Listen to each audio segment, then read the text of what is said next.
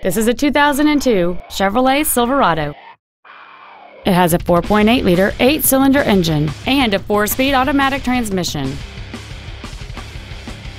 Its top features include heater vents for rear seated passengers, a double wishbone independent front suspension, an engine immobilizer theft deterrent system, a passenger side vanity mirror, 12 volt power outlets, privacy glass, dusk sensing headlights, an anti-lock braking system, a full-size spare tire, and this vehicle has fewer than 57,000 miles on the odometer.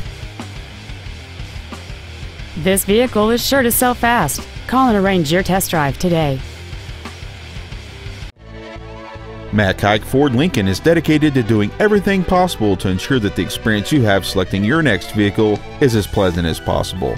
We're located at 7201 South Interstate Highway 35 in Georgetown.